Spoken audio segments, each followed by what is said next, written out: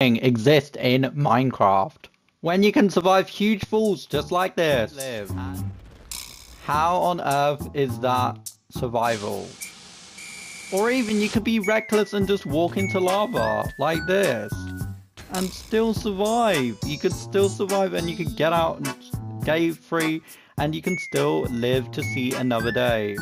Why on earth is this a thing in Minecraft?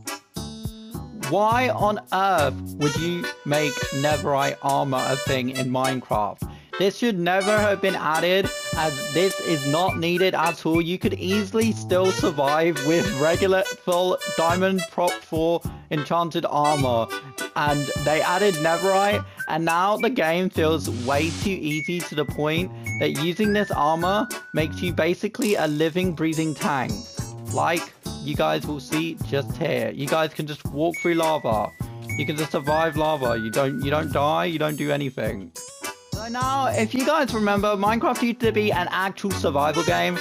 Now you can basically skip all the night. You can basically skip that content by just placing a bed and sleeping, like so. And you just skip the night, and you don't have to deal with it.